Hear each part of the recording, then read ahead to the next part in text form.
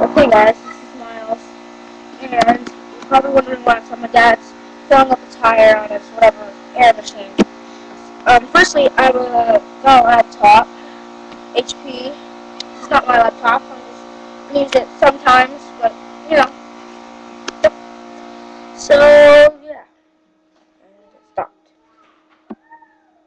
Okay, so I just want to tell you I'm gonna upload some interesting videos today, maybe tomorrow, and next week.